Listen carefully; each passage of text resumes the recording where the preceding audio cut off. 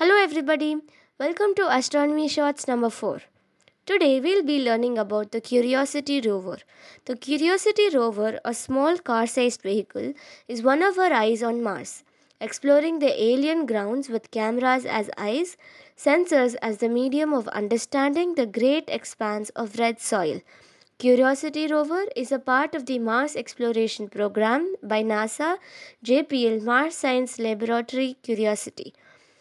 The rover has sent us high resolution pictures of the Martian land, leaving all of us awestruck for all the creative visualizations of mountains, craters, and even some of the formation and early evolution of Mars as a planet is all true. I feel the entire aim of the rover was to research the potential for Mars to have hosted life, its biological potential.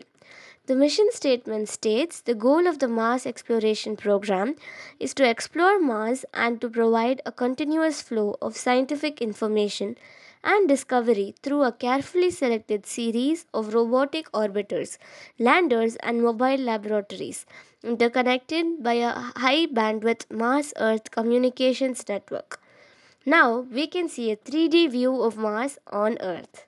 Thank you.